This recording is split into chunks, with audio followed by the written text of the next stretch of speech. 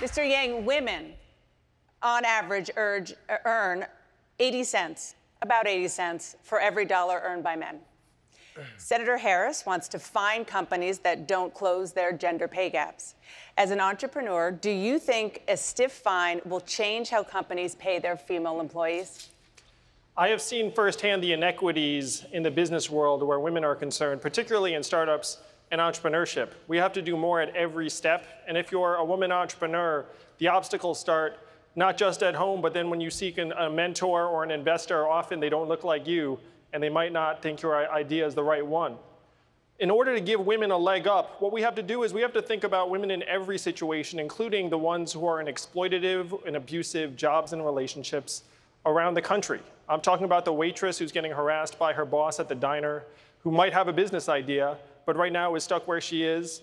What we have to do is we have to give women the economic freedom to be able to improve their own situations and start businesses. And the best way to do this is by putting a dividend of $1,000 a month into their hands. It would be a game changer for women around the country because we know that women do more of the unrecognized and uncompensated work in our society. It will not change unless we change it. And I say that's just what we do. Senator Harris, your response. I think that's support of my proposal, which is this. Since 1963, when we passed the Equal Pay Act, we have been talking about the fact women are not paid equally for equal work. Fast forward to the year of our Lord 2019, and women are paid 80 cents on the dollar, black women 61 cents, Native American women 58 cents, Latinas 53 cents. I'm done with the conversation. So yes, I am proposing, in order to deal with this, one, I'm going to require corporations to post on their website whether they are paying women equally for equal work. Two, they will be fined for every 1% differential between what they are paying men and women, they will be fined 1% of their previous year's profits. That'll get everybody's attention. Thank you, Senator. Senator Time Jill for action. Senator Gillibrand, what's your response? Will fining companies help solve the problem? Um, I think we have to have a broader conversation about whether we value women and whether we want to make sure women have every opportunity in the workplace. And I want to address uh, Vice President Biden directly. Um, when the Senate was debating uh, middle class affordability for childcare, he wrote an op ed. He voted against it, the only vote. But what he, he wrote in an op ed was that he believed that uh, women working outside the home would, quote, create the deterioration of family.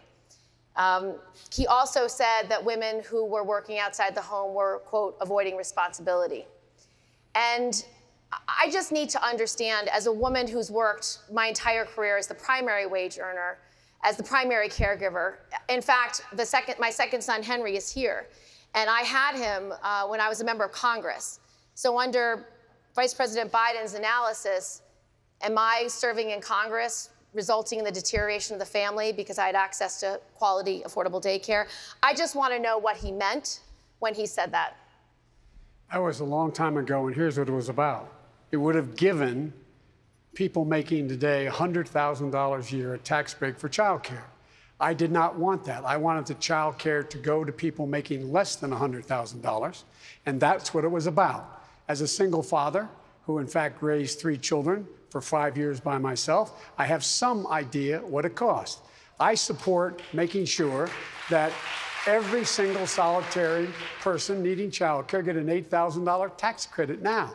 That would put 700,000 women back to work, increase the GDP by almost eight tenths of 1%. It's the right thing to do if we can give tax breaks to corporations for these things. Why can't we do it this way? But, Mr. Vice President, you didn't answer my question. What did you mean when you said when a woman works outside the home, it's resulting in, quote, the deterioration of family? No, and I, that we are avoiding, these are quotes. It was the title of the op ed. No. And that just causes concern for me because we know America's women are working. Four out of 10 moms have to work. They're the primary or sole wage earners. They actually have to put food on the table. Eight out of 10 moms are working today.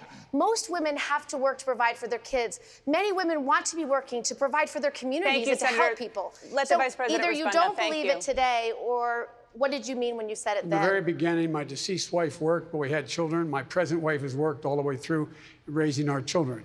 The fact of the matter is, the situation is one that I don't know what's happened. I wrote the Violence Against Women Act, Lilly Ledbetter. I was deeply involved in making sure the, the equal pay amendments. I was deeply involved in all these things. I came up with the It's On Us proposal to see to it that women were treated more decently on college campuses. You came to Syracuse University with me and said it was wonderful. I'm passionate about the concern making sure women are treated equally. I don't know what's happened except that you're now running for president. So I understand, Mr. Vice President, Mr. Vice President, I respect you deeply. I respect you deeply. But those words are very specific. You said women working outside the home would lead to the deterioration of family. My grandmother worked outside the home. So- my, my mother worked outside the home. And, and Thank for- you, Senator Gillibrand. So, well, he I- I- has I wanna bring Senator Harris either he this no longer believes it. I mean, I just think he needs. I never to. believed it. Thank oh, you, Oh, okay. Senator Harris. Please respond. Well, I just, you, listen, I mean, talk about now running for president and you change your position. On the Hyde Amendment, Vice President, where you made a decision for years to withhold resources to poor women to have access to reproductive health care, and in- including women who were the, the, the victims of rape and incest. Do you now say that you have evolved and you regret that? Because you've only, since you've been running for president this time, said that you had you in some way would take that back or you didn't agree with the decision that you made over many many years. And For this many, many- directly impacted so many women in our country. And i personally prosecuted rape cases and child molestation cases. And the experience that those women have those children have and that they would then be denied Thank the you, Senator. Let the Vice President respond i think is, is unacceptable The fact is that uh, the senator knows that's not my position. Everybody on this stage has been in the Congress, and the Senate or House has voted for the Hyde Amendment at some point. The Hyde Amendment in the past was available because there was other access for those kinds of services provided privately. But once I wrote the legislation making sure that every single woman would, in fact, be, have an opportunity to have health care paid for by the federal government, everyone, that that could no longer stand. I support a woman's right to choose. I support it's a constitutional right. I've supported it. I will continue to support it. And I will, in fact, move as president to see to that the Congress legislates that that is the law Thank as you. well. Well, Thank why you, did Mr. it Vice take you President. so Governor long Inslee, to your change your position on the Hyde Amendment? Why did it take so long until you were running for president to change your position on the Hyde Amendment? Because there was not full federal funding for all reproductive services prior to this point. Okay. Thank you. Governor Inslee, your response? I, I would suggest that we need to broaden our discussion. I would suggest we need to think about a bigger scandal in America, which is that in professions and careers where women have been uh, more than the majority, they have been almost always underpaid.